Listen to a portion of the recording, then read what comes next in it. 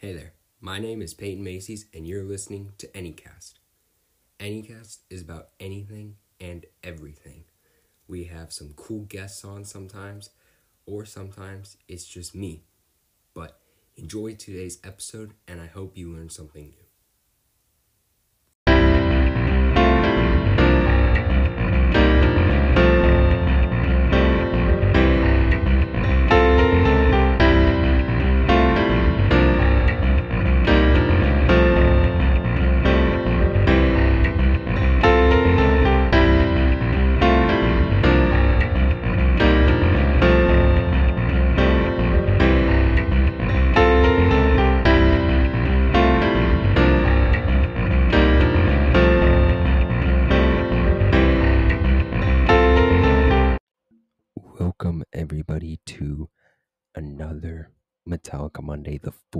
One, actually.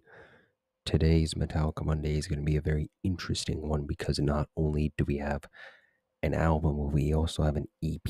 And actually, we're going to start reviewing the EP first. But everybody, welcome on back to Anycast. I'm your host, Peyton Macy's. Uh, and this is another Metallica Monday. Uh, I remembered today is Sunday. So this is supposed to come out tomorrow. And I still hadn't listened to the albums. I told myself last night I should probably turn one on. Never did. So I just got done listening to the $5.98 EP. EP, of course, means experimental play. Uh, the $5.98 EP, and then it has a dash and says Garage Days Revisited, or actually re revisited remastered. So maybe they just put the extra re in there because of uh, remastering. I'm not really sure. This one clocks in at tw- under 25 minutes, at 24 minutes 49 seconds. Um, and it has five songs. So, you know, typical EP. You know, usually an EP will have like eh, five to eight songs, I think. Uh, somewhere in there. Maybe four to eight is a little bit more accurate. No, I, I actually would say five. Uh, most EPs that I know is five or eight. There's really no really in between. It's kind of weird when you have like seven songs, maybe six songs, like, but five songs, that's pretty solid. Uh, I'm going to be honest. This one, I didn't think it was going to be great. It's better than what I thought it was going to be. But overall, it is no Master of Puppets. It is no Ride the Lightning. And I'd actually rather listen to Kill 'Em All, which you guys know my thoughts on it. I don't hate Kill 'Em All, but I didn't think it was the greatest thing ever. Um, this one has five tracks, and one of the tracks I ha- I really don't like because of the content in the track. It's a very dark and disturbing track. The first track is called Helpless. Helpless is an okay song. Uh, not my favorite. It's decent though. Uh, Small Hours is one of my more favorite songs. I forgot that I had to pick two favorite songs off all these albums. I think I did that in the Metallica Monday with Master Puppets. Uh, but sm- the Small Hours and The Wait, which are tracks two and three, are my favorite ones in this uh, album or EP. Crash Course in Brain Surgery is the fourth track. And then the final track, Last Caress slash Green Hell, is an explicit track. And uh, let's just say that track is not, in my opinion, good at all. I don't like what they say in the track. I don't like what is being spoken. Uh, you know, Metallica, of course, it's a metal band, but they're not exactly devil worshippers, but they talk about some very dark subject material. I don't really want to go over it uh, right now. I would highly encourage everybody to go check that out if they would like to. If you just want to take my word for it and not know what it is, great. You know, I can understand that 100%. Um, and as you can see, at only four minutes into this podcast, uh, just about four minutes here, I don't really have a whole lot to say on that one. Like, there's not great songs, they're just EPs.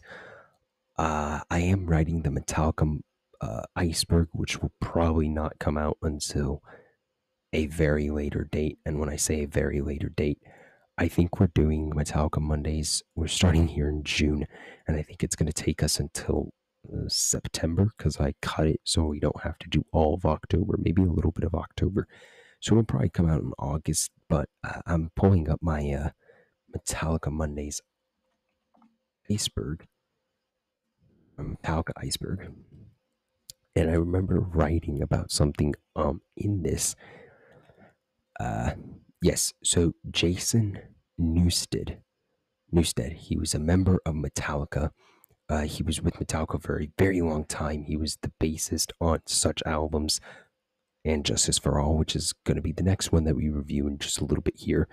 Uh, Load and Reload, and of course the Black Album, which we actually will be reviewing the Black Album next week, which I think is going to be my absolute favorite Metallica album. I think that's really like most people know the Black Album and most of the songs on the Black Album, and that's what they associate Metallica with. I'm sorry if my dogs are barking and it's picking up here. But Jason has bass solos or bass sorry, bass solos on the 598 EP. Uh you know, so he doesn't really get to sing, but he does get bass solos, and I think that's kind of interesting. But like overall, I just don't really care for this album. If I was gonna own Metallica albums um, on vinyl or on CD, I have a record uh, player, and I have Ride the Lightning and the Black Album on record. I listened to Ride the Lightning on record and reviewed it. I will listen to Black Album on uh, the record. But of course, I have to get Master of Puppets because I actually do really like that album. Uh, and I would also maybe get And Justice for All. I haven't listened to it yet. You'll hear my thoughts about that in a little bit. But this is definitely one of those that I would totally just not care about getting. Uh, it's just so meh to me. Um, I think I mentioned this before, but I will be doing a tier list video and it will be a podcast uh, of my ranking of each Metallica album. In fact, I think I'm going to start writing my script for it because I actually want to commentate on some stuff and not just really go off the fly like I usually do with the tier list. I, you know, I actually have some things to say about what each album is to me. Uh, so, yeah, I mean, honestly, if I'm going to be really completely honest, this is probably going to be in my like D tier because, of course, we have S, A, B, C, D, F. Nobody uses the E tier. It's lame. Most of the time, I actually get rid of D sometimes, but I think I would use the D tier just for this specific EP. I don't really think it's great. I don't think it's anything super special, but of course, I have to pick two favorite songs from each thing, which is going to get very hard in a little bit here in I think August once we get into some of the crappier albums of Metallica. According to the fans, I haven't seen yet, so I can't really comment. But especially something like Saint Anger, which is their worst album, according to all fans, uh, aside from Lulu. But yeah, that's what I wanted to talk about here um, with the 598 EP. Uh, I know that the YouTube video of this is just this part of the podcast. And for you guys on YouTube, sorry about it, but it's okay because you will also get the uh, And Justice for All uh, out right now. So you can go check that out. Uh, right now, you guys can go and listen to the And Justice for All part if you guys are on YouTube. But if you guys are on the podcast, just stick around a little bit. It's just going to cut right over to my thoughts on And Justice for All. And I get to record that in about an hour or so because the hour the album is about an hour long or so. So yeah, stay tuned. And if you're on YouTube, have a great day. Go check out the next video. Peace out to everybody on YouTube. If you're on the podcast, stay right here. You don't want to miss a thing as we review and justice for all.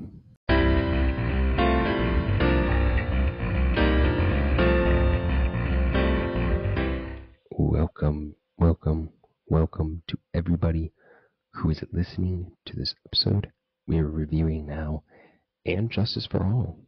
So, welcome back. Um, and Justice for All, you know, the next part of this Metallica Monday episode. If you're on YouTube, then this is a completely different video. Um, but yeah, we're here to talk about And Justice for All. And I gotta say, And Justice for All, in my opinion, is maybe the best, definitely actually the best Metallica album I've heard yet. And Justice for All was really good, okay? Blackened is the first track on this album. Well, actually, before I get into the tracks, there are nine tracks on this album. This album is a little over an hour, clocking in at an hour and five minutes. Yes, uh, nine songs.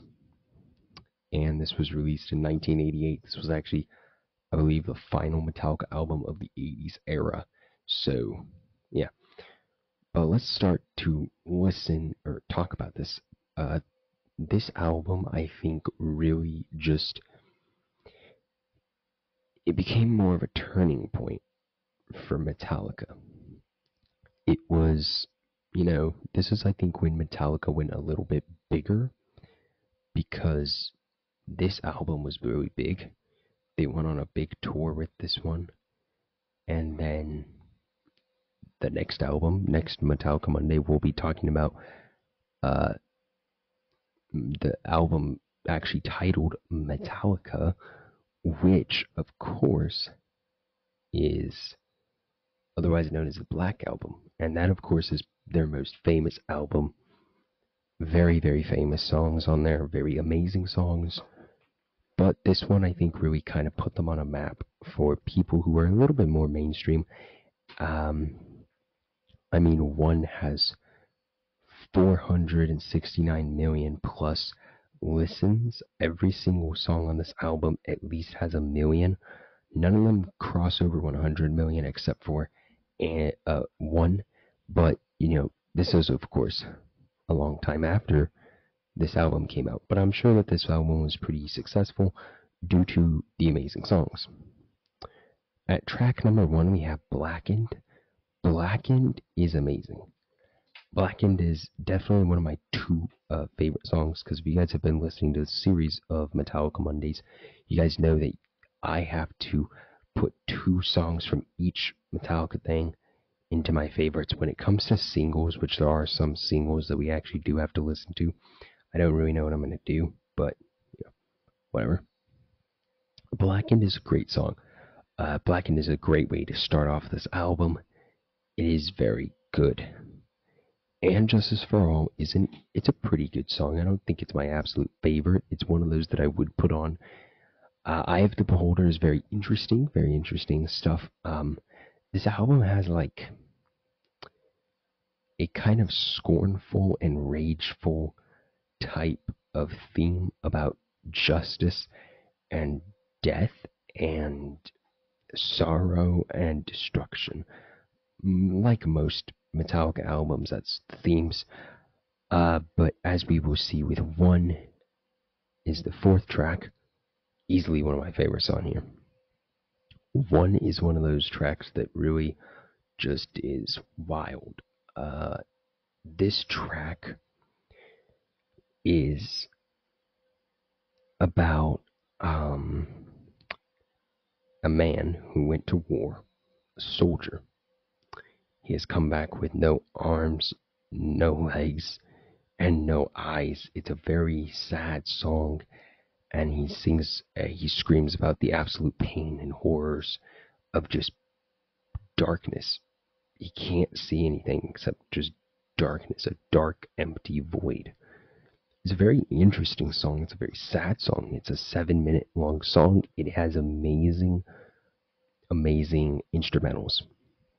This entire album is packed full of amazing instrumentals. Every single song, the instrumentals just carry the song. I mean, of course, some of the lyrics in these are really great. The Shortest Straw is easily one of my least favorite in this bunch. Uh, it is my least favorite on the entire album. I just don't really care for it. I probably wouldn't ever listen to this again. Now, Harvester of Sorrow, it's not blackened and it's not one, but it's a really, really good song. Harvester of Sorrow is a really dope song, uh, very interesting, very much Metallica. You know, uh, you know, you talk about something dark and you're just shredding a metal guitar and just making some amazing music. You know, the fried or the frayed, yeah, the fried, the frayed. Sorry, not fried. This ain't fried chicken. This is the frayed ends of sanity. It's a very interesting song. Um, but I think that one of the more interesting songs for me are tracks seven or sorry eight and nine, specifically eight. Eight reminds me of the track in Kill 'Em All, uh, the track Anesthesia. If you guys don't remember, in when I did that uh, Kill 'Em All album review, Anesthesia was that one on the album that was just instrumentals. To Live is to Die is very interesting because it starts out with this like non rock instrumental. It it's really interesting. Or maybe it is like rock, but it's not it, it might be classified as rock. It's more like metal. Or sorry, it's not metal. It could be classified as rock, which of course Metallica is metal. And then somehow it shifts into like metal and there's a few like voicing things and then it fades out back to what it started with to close out the song. It's a great, great, great song. And then Dyers Eve. Dyers Eve is one of the uh, explicit uh, ones on this album. It's the only explicit track, actually. I don't actually understand exactly why it's explicit. Uh, I was listening to it. I would have to listen to it again to gauge what's super explicit about Dyers Eve, but I will say Dyers Eve is a great song.